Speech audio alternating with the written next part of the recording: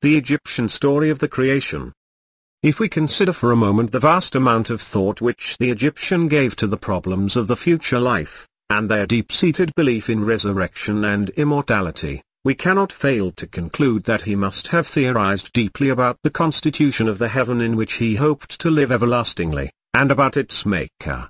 The translations given in the preceding pages prove that the theologians of Egypt were ready enough to describe heaven, and the life led by the blessed there, and the powers and the attributes of the gods, but they appear to have shrunk from writing down in a connected form their beliefs concerning the creation and the origin of the Creator. The worshippers of each great god proclaimed him to be the creator of all, and every great town had its own local belief on the subject. According to the Heliopolitans, Atum, or Tem, and at a later period Ah, was the creator. According to Memphite theology he was Da, according to the Hermopolitans he was Thoth, and according to the Thebans he was Amenamun.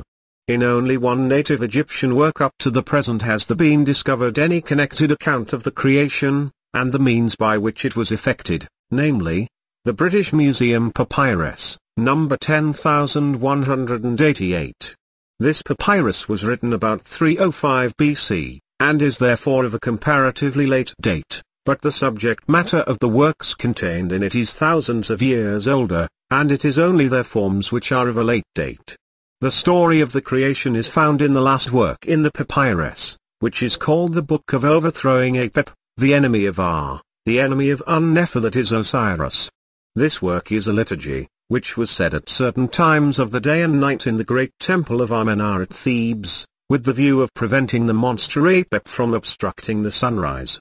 Apep was supposed to lie in wait for the sun daily just before sunrise, with the view of doing battle with him and overthrowing him.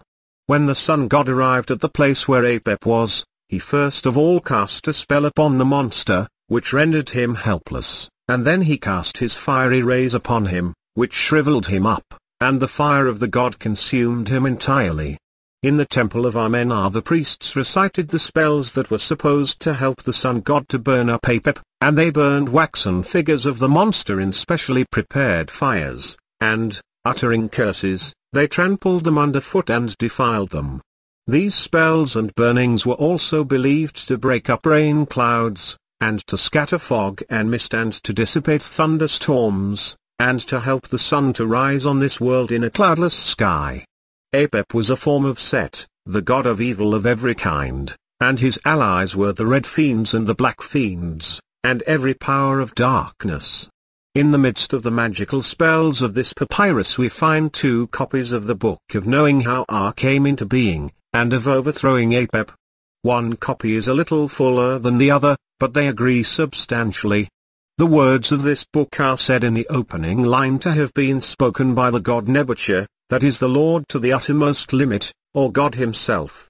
The Egyptian Christians, or Copts, in their religious writings use this name as an equivalent of God Almighty, the Lord of all, the God of the universe.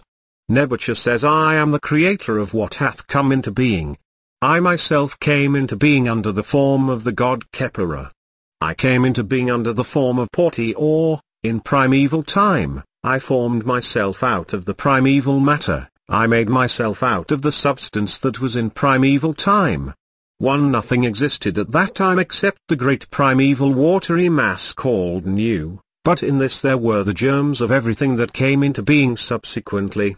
There was no heaven, and no earth, and the God found no place on which to stand, nothing, in fact, existed except the God.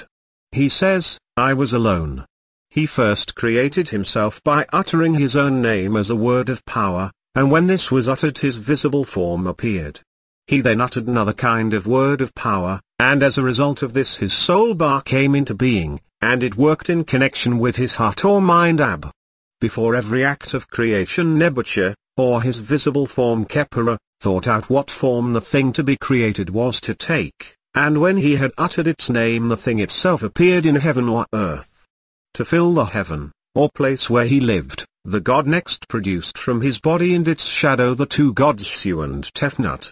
These with Neb-er-tcher, or Khepera, formed the first triad of gods, and the one god became three, or, as we should say, the one God had three aspects, each of which was quite distinct from the other.